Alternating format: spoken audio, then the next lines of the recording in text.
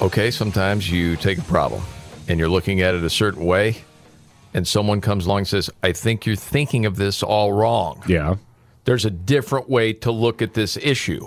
And sometimes it gives you fresh perspective. Is that what we're talking about here, David? I think so, maybe. Uh, here, the sheriff of Bexar County, Texas, is uh, investigating the governor of Florida because the governor put some migrants in San Antonio on a plane and sent them to Martha's Vineyard.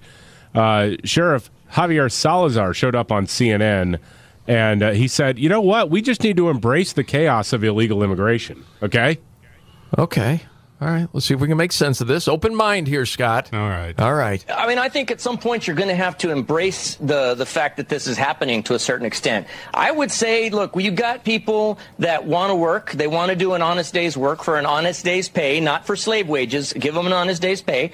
And you've got a shortage of workers. If you go to any restaurant in San Antonio, Texas, right now, you're going to wait a long time to get your table, even though there's empty tables because there's not enough wait staff to wait on you. There, you're going to wait a long time for your food because there's not enough people to, to cook it in the back. Half the cooks maybe aren't aren't showing up to work or they've quit. Hire these folks. See, there you go. They, we, I'm tired of waiting 30 minutes to get a table at Olive Garden. Let's send these guys to work at restaurants, okay? I can't believe what I just heard. You know how I mean, long I'm, you I'm have really to having a hard time comprehending that. you, you know how long I have to wait to get my roof replaced? Come on, Jose, let's let freaking go. I have to wash my own car now. The world needs more bus boys. Hola, Good welcome to Lord. America. what was that? Just embrace it, man. We got to have workers. That's right. Holy smokes, man. It's like, okay. I don't think I've heard that argument since 08. That's a good one, though. That was McCain, I think, running for president, Yeah. saying, you know, the, the white people and black people won't do these jobs. I'm surprised. I, he, what was it? I, I'm trying to remember. And this was 08. I think he said they wouldn't walk beans for, what was it?